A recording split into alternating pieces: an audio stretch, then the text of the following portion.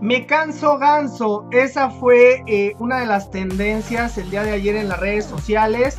Eh, esta frase salió a flote en eh, la toma de protesta de Andrés Manuel López Obrador. Y bueno, es muy similar al caso Ricky Riquín Canallín. Bueno, el día de ayer durante su mensaje en San Lázaro, Andrés Manuel López Obrador utilizó la frase me canso ganso para referirse a su promesa de hacer la base aérea de Santa Lucía el próximo aeropuerto de la Ciudad de México. La frase puede ser una rima que se inmortalizó en 1947. Se puede apreciar en el diálogo entre Tintán y Marcelo.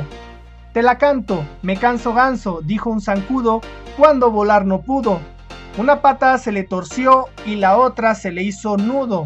Luego le dio la tosa y hasta se quedó mudo ya mejor no le sigo porque luego yo sudo.